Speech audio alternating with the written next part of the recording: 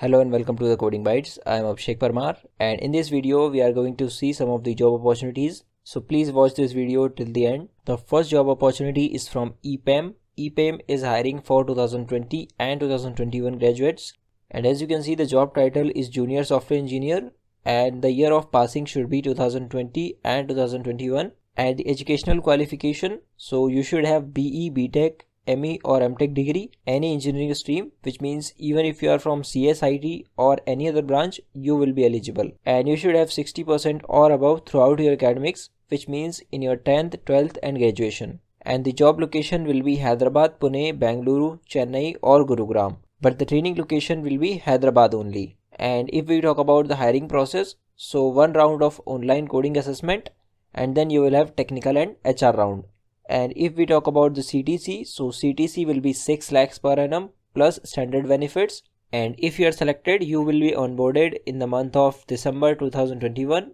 or January 2022 and during the registration you can choose a preferred technology. And the last date for the registration is 11 November 2021 and the first round of online assessment will be conducted on 13 November 2021 so all you have to do is you have to just fill this form so the link for this page will be given in the description of this video. Now let's move to the next job opportunity which is from mindtree. So mindtree is conducting an off-campus drive for the role of software engineer. And as you can see the eligibility criteria. So this is a job hiring for 2021 and 2022 graduates. And the candidate should have degree in BE or BTech in CSIT or circuital branches. Circuital branches means electronics or electrical or telecommunication branches and the academic cutoff so you should have 60% or 6 GPA in the current graduation with no backlog and the application deadline is 11 November 2021 so make sure you apply before this date. Now let's see the job description.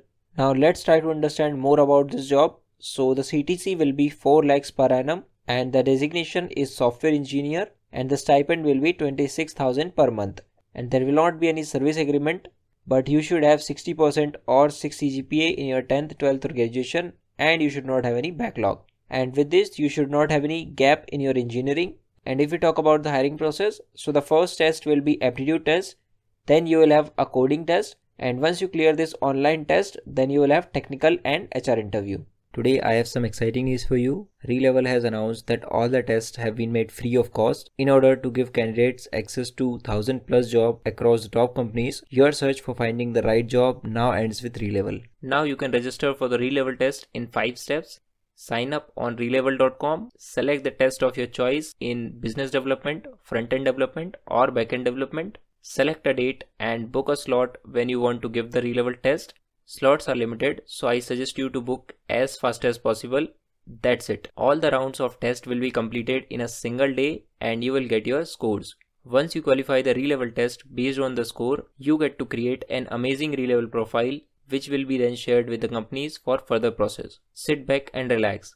Companies will reach out to you based on your profile. The better your Relevel score, the more companies will reach out to you. So what are you waiting for? Register for the Relevel test today. Now let's see the next opportunity. So this is an internship opportunity from Zigram and the location is Gurgaon, India. And as you can see department name. So this is for engineering graduates only and the maximum experience you can have is one year and the minimum experience is zero. So if you have zero to one year of experience, you can apply for this internship. So first of all, let's talk about the job description. So you should be able to write reusable, testable and efficient code and with this you will have to work with technology leads developers and project managers and you will get a chance to learn a lot of concepts quickly and deploy outcomes. And also collaborate with internal team to produce software design and architecture. And if we talk about the requirements so you should have good academic record in school college and educational pursuits.